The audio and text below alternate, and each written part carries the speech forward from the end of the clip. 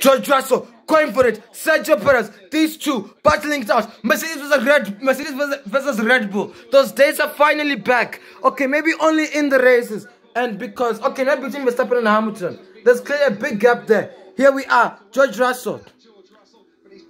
George Russell down the inside. Let's go, George. Come on. Ah, George Russell still on the inside, struggling there. Let's go, George Russell. Can do better than this, man.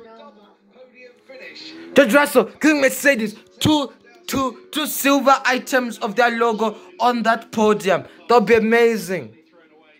Position. He's not. He's going to run out of laps. He's quick, but he's going to run out of laps before he gets anywhere near George Russell.